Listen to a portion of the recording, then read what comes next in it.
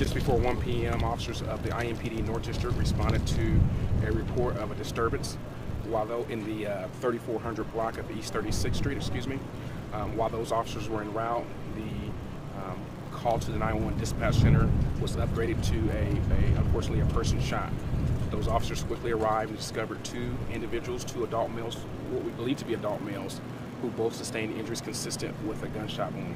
One of those individuals was found outside. The second individual um, was, was found inside the home. Um, IEMS arrived and was able to transport one of those individuals um, who was listed in critical condition to an area hospital. The second uh, victim has unfortunately been pronounced deceased by medical personnel. Um, our IMPD homicide investigators, they've arrived. Our North District officers are canvassing this area, hoping to speak with witnesses and so forth. And so we'll be out here uh, for some time. We do not believe, we believe that this is an isolated incident and all parties involved have been accounted for.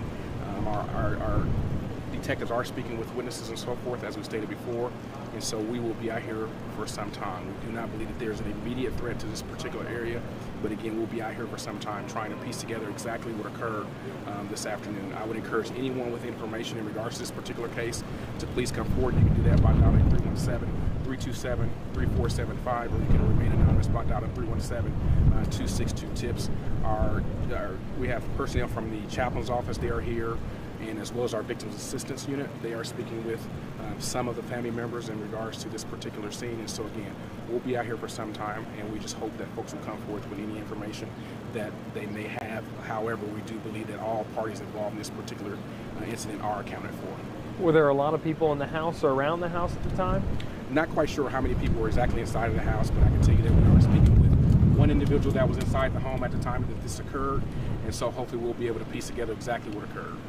Any idea if anybody else was firing shots? Were these two men firing each other? Anything like that you can tell us? Um, that will come out as an investigation. As you can imagine, Eric is very early on in the investigation. Our homicide and detectives are just now kind of yeah, gathering that information. And so hopefully we'll be able to piece together exactly what occurred. Any information that I do not have, I'll be able to, be able to update the news desk as we go throughout the evening.